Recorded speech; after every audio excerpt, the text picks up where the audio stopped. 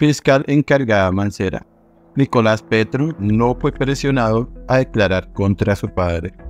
La funcionaria judicial indicó que el hijo del presidente de la República estaba con su abogado.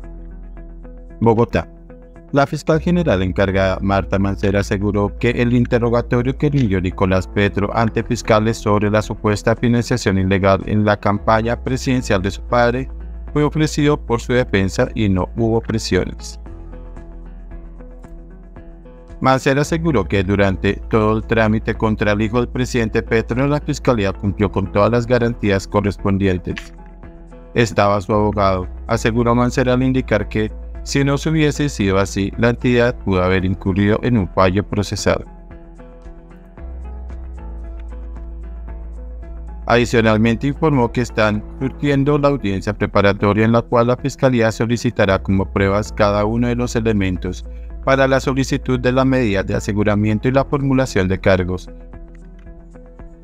por el presunto delito de enriquecimiento ilícito.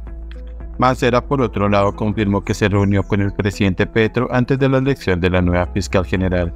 Según la funcionaria, solamente hablaron de los procesos de paz con grupos armados.